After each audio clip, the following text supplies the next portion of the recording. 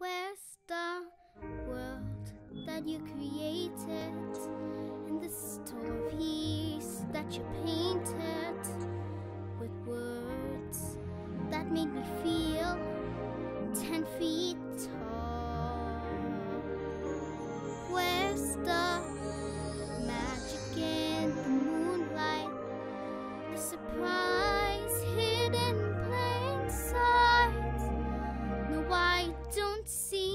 much to inspire much at all.